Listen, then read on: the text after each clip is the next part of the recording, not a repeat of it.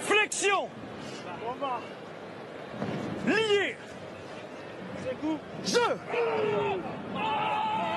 La mêlée qui s'écroule.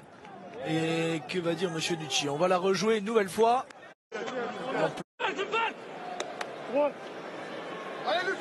Les deux premières lignes ont, ont intégralement changé depuis le, début du match.